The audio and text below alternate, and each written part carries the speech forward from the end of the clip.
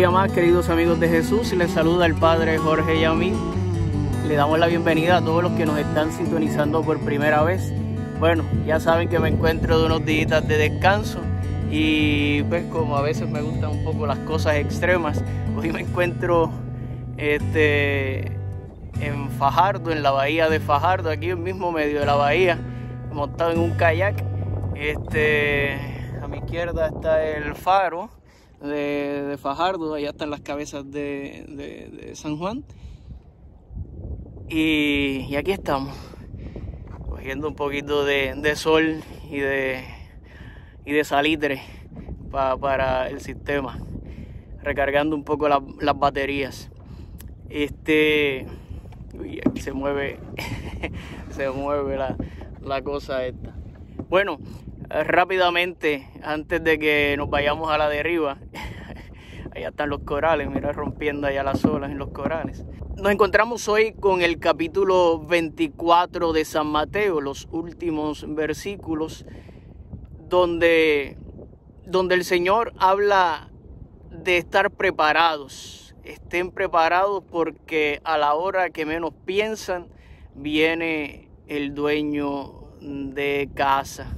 Y nos dice el Señor que nos ha colocado como administradores de, su casa y nos invita a estar preparados porque no sabemos qué día y a qué hora viene Él. Y por lo tanto debemos ser administradores prudentes que, que procuran estar siempre en vela, atendiendo bien a los de la casa. De este modo es una clara invitación a no dejar las cosas para última hora. Recuerden que el Señor siempre nos está tratando de hablar acerca del reino de los cielos. Debemos estar preparados. No nos puede coger la muerte o su llegada sin, sin estar preparados y a improvisar a última hora. No, debemos ser prudentes y fieles administradores que procuran cada uno de sus días, a cada momento estar bien preparados, estar listos como si fuera nuestro último momento. Hay que vivir entonces cada día con intensidad, con el corazón listo para ese encuentro con Él en su reino. Hoy, 27 de agosto, celebramos la memoria de Santa Mónica, una de esas mujeres prudentes que supo estar preparada.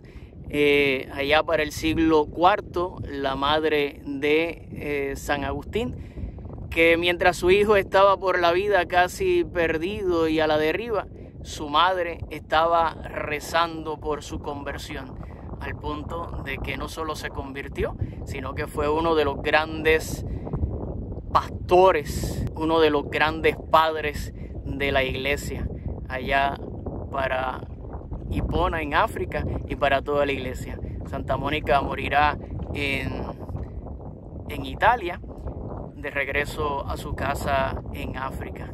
Pues pedimos a Santa Mónica que interceda por nosotros para cada día tomarnos en serio bien el, el Evangelio, tomarnos bien en serio esta invitación del Señor a estar listos, a estar siempre preparados para ese encuentro con Él en el reino de los cielos.